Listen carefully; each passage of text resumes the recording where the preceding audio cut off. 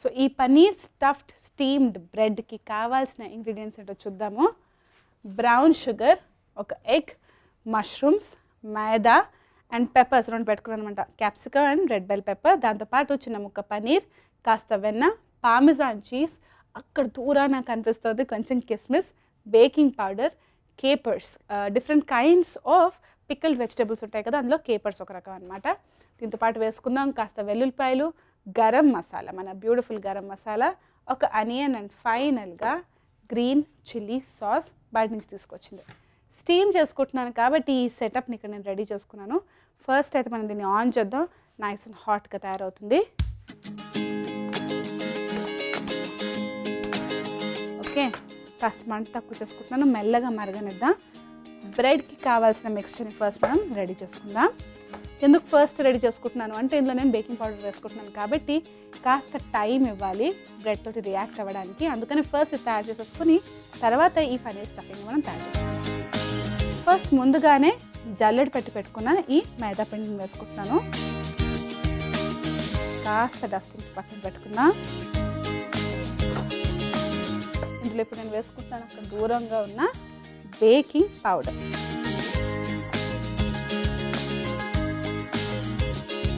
కాస్త సాల్ట్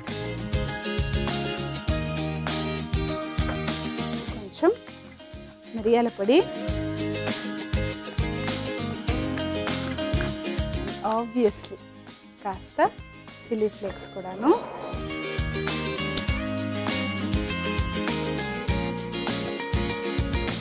కొంచెం ఆయిల్ కూడా యాడ్ చేస్తాను. కలిపేసుకుందాం.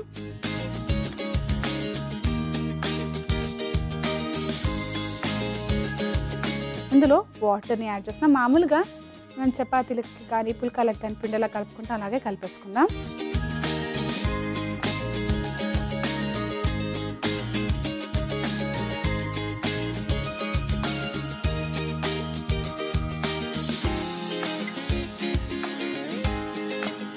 స్మూత్ డో పిండి తయారు చేసుకున్నట్టుగా పెట్టుకుందాం.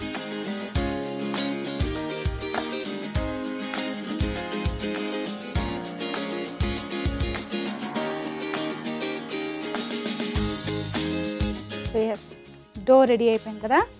మనం దీన్ని మూత పెట్టుకుని పక్కన పెట్టేద్దాం. మూత ఎందుకు పెట్టుకోవాలంటే డ్రై అయిపోతుంది ఒకవేళ ఓపెన్గా పెడితే.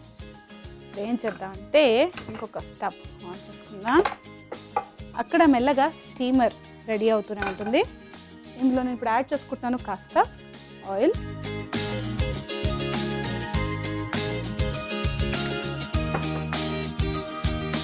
సో ఫస్ట్ ఆనియన్స్ని కాస్త చాప్ చేసుకుందాం.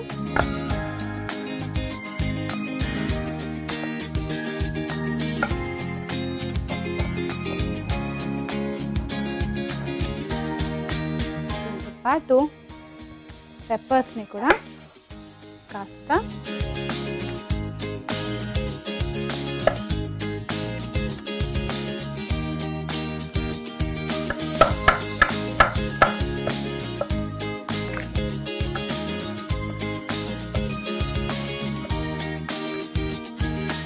ఆయిల్ వేడెక్కింది. ఇందులో ఇప్పుడు నేను యాడ్ చేసుకుంటున్నాను కాస్త బటర్.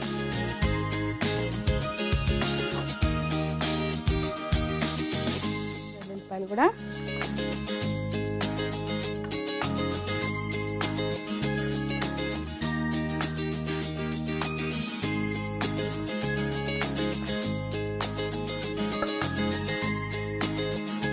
ఫ్లాటన్ చేసుకుని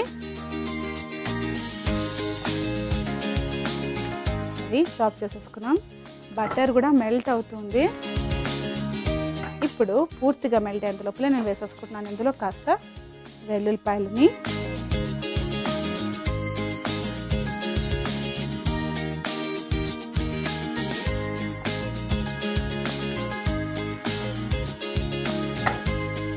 వేసుకుందాం ఫస్ట్ కాస్త ఈ ఆనియన్ ముక్కల్ని.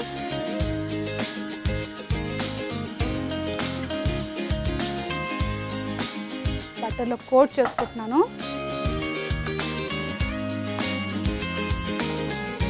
మష్రూమ్స్ కూడా చాప్ చేసుకుందాం.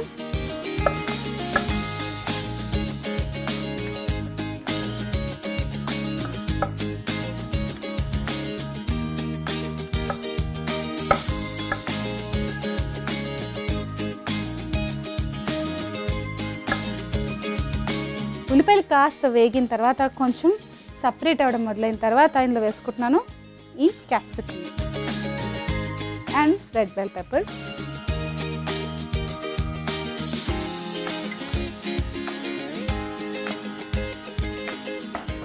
ఇంకా కొంచెం ఫ్రై అవ్వాలి. ఇప్పుడు ఏం చేద్దామంటే పన్నీర్ని కట్ చేసుకోవడం మొదలు పెడదాం.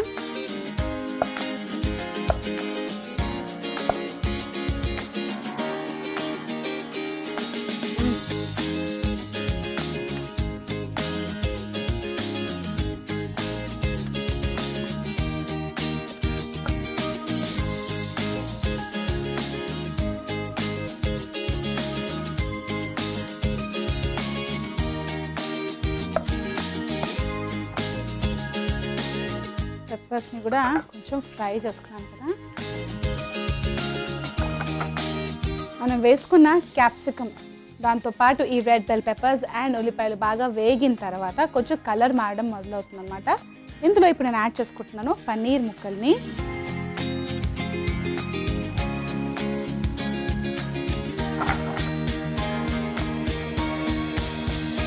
బేసిక్గా పన్నీర్ కూర లాగా మష్రూమ్స్ కూడా ఎక్కువ యాడ్ చేస్తే యాడ్ చేసుకుంటున్నట్టు. మష్రూమ్స్ కూడా ఇప్పుడు వేసేసుకుందాం. మష్రూమ్స్ ఇంకా పన్నీర్ రెండు కూడా బాగా కుక్ చేసుకోవద్దు. చాలా తక్కువ టైంలోనే కుక్ చేసేసుకోవాలి. ఎందుకంటే రబ్బర్ లాగా మారుతుంది మరీ గట్టిగా అయిపోతుంది. అండ్ మష్రూమ్స్కి ఒక రకమైన వాసన వచ్చేస్తుంది. ఓవర్ కుక్ అయితే. ఓకే. ఆయిల్లో కోట్ చేసుకున్నాను. ఇప్పుడు నేను ఇలా వేసుకుంటున్నాను కొంచెం బ్రౌన్ షుగర్. చూసారు? వెరైటీ మొదలైందన్నమాట. కాస్త green chilli sauce. Spice mix కూడాను. అండ్ కేపర్స్ కూడా. క్రష్ చేసి వేసుకుంటున్నాను. ఇలా వేసుకున్నా ఇప్పుడు కిస్మిస్.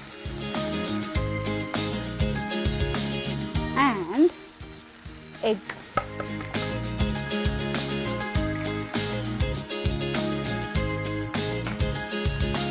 ఇప్పటి వరకు మామూలు వంటకం లాగే తీసుకెళ్తుంది ఉద్భుత సడన్గా వెరైటీ ఇంగ్రీడియంట్స్ యాడ్ చేస్తున్నాను అనిపిస్తుంది కదా? ఇంటర్నేషనల్ వంటకాలు అలాగే ఉంటాయి.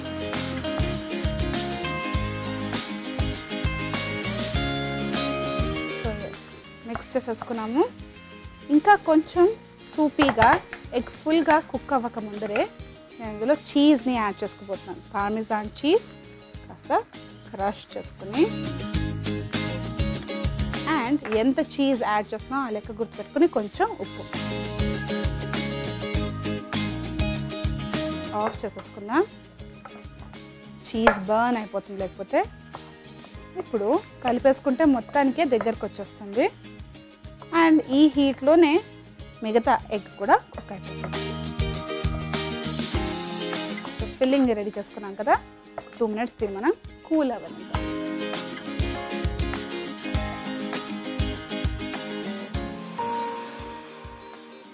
మిక్స్చర్ని కాస్త కూల్ చేసుకున్నాం చిన్న చిన్న బబుల్స్ మన స్టీమర్ సెటప్లో రావడం మొదలుపెట్టింది. ఇప్పుడు మనం బ్రెడ్ని రోల్ చేసుకుందాం. కాస్త మేదా ఇందాక మనం బ్రెడ్ మిక్స్చర్ డోని తయారు చేసుకునేటప్పుడు కొంచెం పక్కన పెట్టుకున్నాం కదా. దాన్ని యూస్ చేద్దాం.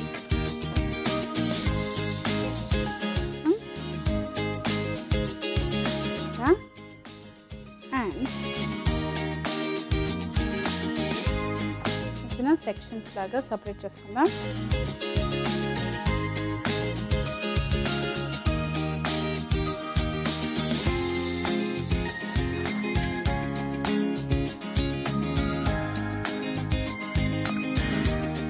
ఫస్ట్ అన్ని వైపులా కాస్త ఫ్లాట్ చేసుకోవాలి. అంటే సమానమైన థిక్నెస్ తోటి ఉండేటట్టుగా ఫ్లాట్ చేసుకుందాం. అండ్ కాస్త ఒక సైడ్ ఇలా బ్రేక్ అవడం మొదలవుతుంది. ఇట్స్ టోటలీ నార్మల్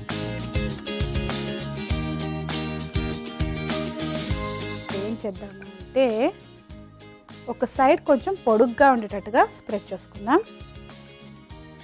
ఇలా అనీవెన్గా వచ్చినా కూడా ఏం కంగారు పడకండి. ఒక ఫోర్క్ తీసుకోండి. అండ్ హోల్స్ని పెట్టండి. ఇలా హోల్స్ ఎందుకు పెట్టాలి అంటే స్టీమ్ చేసేటప్పుడు ఆవిరి లోపలి వరకు వెళ్ళాలి. అండ్ ఈ బ్రెడ్ని పర్ఫెక్ట్గా మనం స్టీమ్ చేసుకోవాలి.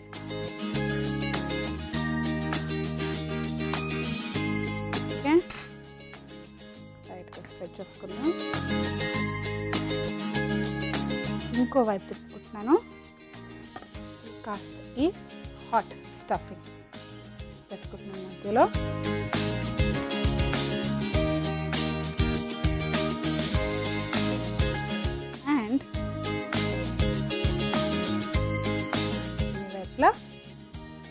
దీన్ని పుల్ చేసి రోల్ చేసి. ఇలా వస్తే దీన్ని నీట్గా లోపల తగ్గించేస్తాం మైదానే కాబట్టి కొంచెం సాగుతుంది. సులువుగా రోల్ చేసుకోవచ్చు. అండ్ గాలి ఎక్కువగా లేకుండా కొంచెం లైట్గా ప్రెస్ చేసుకొని ఇలా స్ప్రెడ్ చేయండి. ఒకవేళ ఈ హోల్స్ ఇంకా సరిపోవు అని అనిపిస్తే లైట్గా పైనుంచి హోల్స్ పెట్టుకోండి. సరిపోతుంది. జస్ట్ బ్యూటిఫుల్ రోల్స్ పక్కన పెట్టేసుకున్న ఇలాగే మిగతా కూడా రెడీ చేసుకొని మనం డైరెక్ట్గా స్టీమర్లో పెట్టుకుందాం. సో రోల్స్ని మనం రెడీ చేసేసుకున్నాము. ఇలా ఉంటాయి అన్నమాట ఫైనల్ అవుట్పుట్ అండ్ స్టీమర్ కూడా నైస్ అండ్ హాట్గా తయారై ఒకవేళ స్టీమర్ లేకపోతే ఏం చేస్తారంటే ఇడ్లీ పాత్రలో చిన్న చిన్న బాల్స్ లాగా స్టఫ్ చేసుకొని స్టీమ్ చేసుకోండి. చేసుకుందాం. పెట్టేసుకున్నాం కదా ఇప్పుడు మనం క్లోజ్ చేసుకున్న వీటిని స్టీమ్ చేసుకున్నాము ఇంచుమించు ఒక ఇరవై ఐదు నిమిషాల వరకు మనం దీన్ని తక్కువ మంట మీద స్టీమ్ చేసుకోవాలి. అప్పుడు super tasty steamed paneer stuff bread rolls ready అయిపోతాయి. డైరెక్ట్గా మనం ప్రజెంటేషన్లో